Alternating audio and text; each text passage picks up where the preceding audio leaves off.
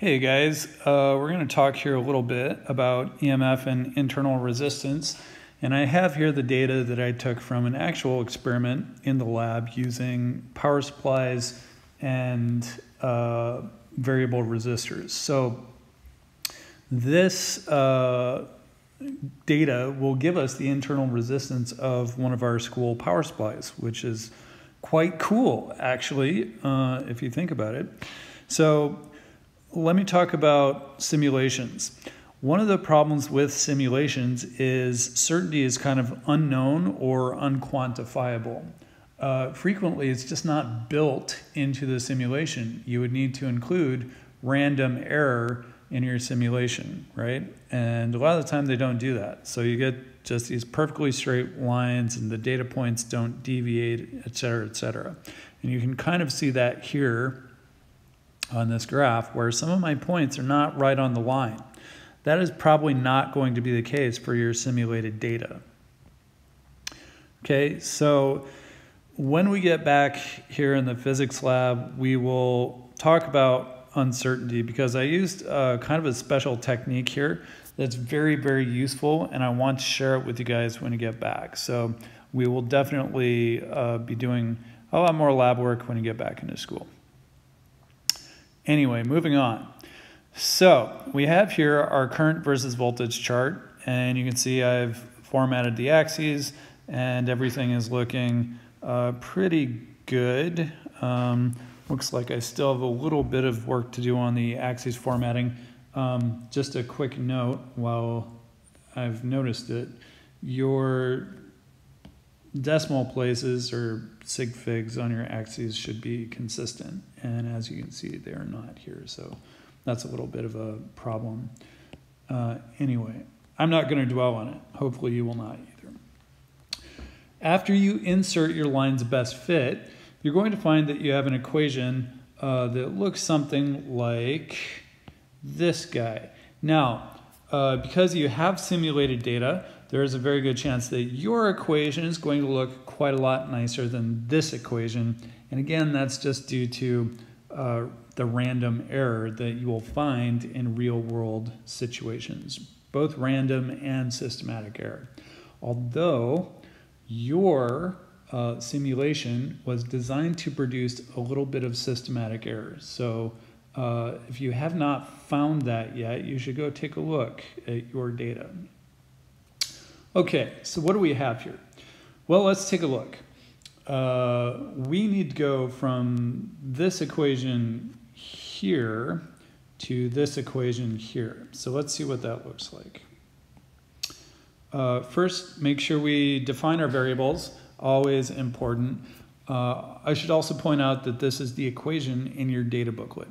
Okay, so what do we have here? We have EMF, and this is the uh, potential difference of the power supply. Uh, so this is the presumed uh, potential difference of the power supply. Okay, um, we have then the resistance of the circuit. We have the current through both the circuit and through the power supply. Uh, it is running through the power supply in theory. Okay, we then also have our small r, which is uh, internal resistance. I should change this. Sorry about that.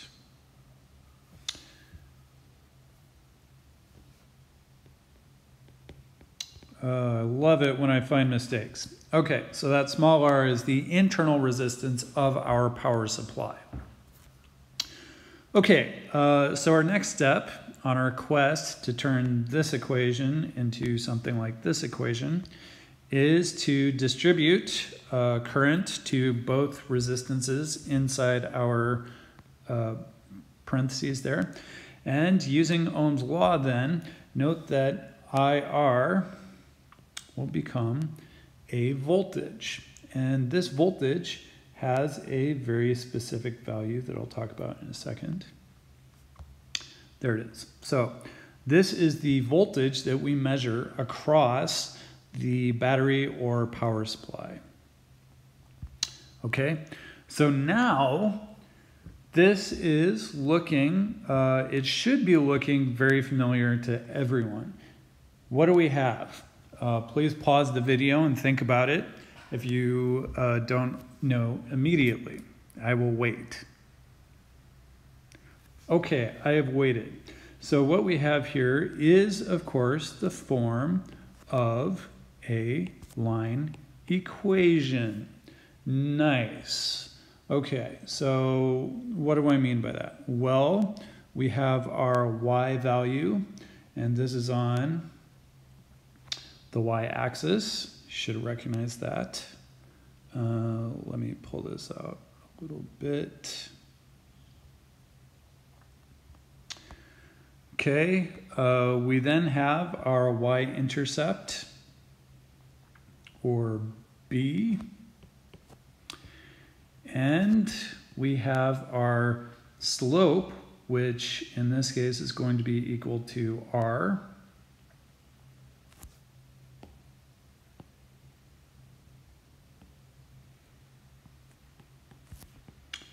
And of course we have our x value which is in this case current, okay? So there it is, y equals mx plus b, and that means we can pull our internal resistance off of this graph. It is going to be, dun, dun, dun, the slope of the graph. Nice. And our y-intercept then is going to be our EMF. Okay?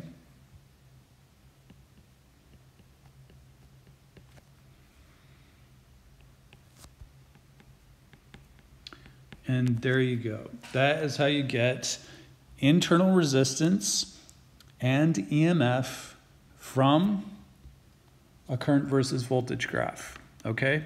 So you need to know this information. It commonly pops up on paper three style questions. Okay, so it's, it's pretty important for test purposes. So hopefully that all makes sense. If it does not, please don't hesitate to ask me questions. Um, and as always, make sure you practice some problems and kind of wrap your head around it. Okay, have a great day, guys. I'll talk to you later.